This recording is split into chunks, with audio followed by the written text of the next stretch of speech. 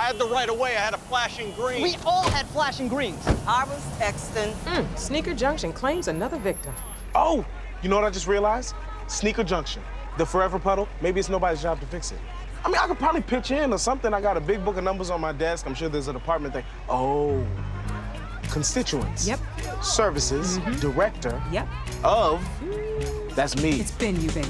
Wow, that it's real. Yep. I have an actual legitimate job mm-hmm. that I have very much been neglecting. Oh, thank you, Lord. I was just about to plow us into a Corolla for you to get it. I see what you did there, Dina Rose. You think you slick.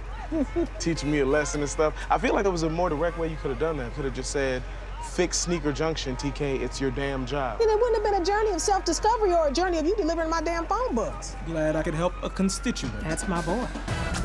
Constituents, this is nobody's fault. I'm gonna fix it. But it's probably Texan. I'm not picking sides.